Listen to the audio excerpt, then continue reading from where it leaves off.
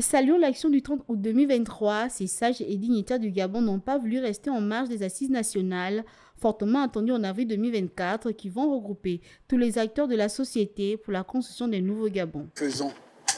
Je crois que le, le coup de libération est, pour les sages que nous sommes, c'est une chance à saisir. C'est du moins de cette manière-là que nous l'avons perçu. Nous avons caressé l'ambition de voir les Gabonais prendre eux-mêmes leur destin en main. Pour faire ensemble, nous devons nous retrouver pour parler de notre vivre ensemble, comme cela se faisait dans nos villages quand il y avait un problème. Cependant, quant au nombre limité de participants qui prendront part à ce dialogue national, les sages et les dignitaires s'insurgent. Imaginez une constitution à l'africaine. Donc tout ça, ce sont des éléments qui sont à la portée du gouvernement.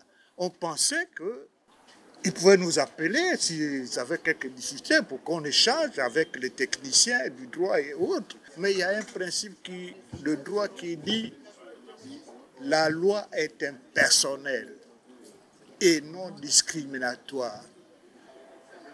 Les Gabonais veulent être partie prenante à tout ce qui se fait pour eux. En ces heures de transition pour la restauration des institutions au Gabon, pour une meilleure organisation, ce collectif souhaite également un report du dialogue national à travers la mise en place d'un comité national préparatoire plus inclusif.